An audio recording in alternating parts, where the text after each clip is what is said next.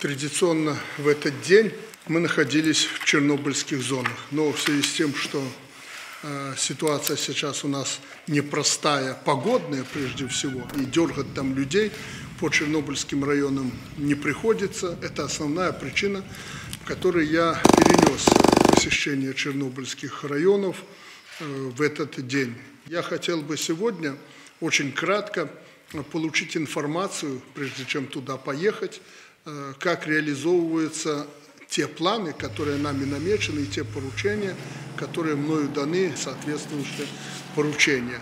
В том числе и людям очень интересно заниматься рыболовством, осуществлять трофейную охоту. Ну, предостерегая людей, мы это делаем, меры безопасности э, должны быть э, соблюдены. Сделано, не сделано, что еще нам предстоит там сделать.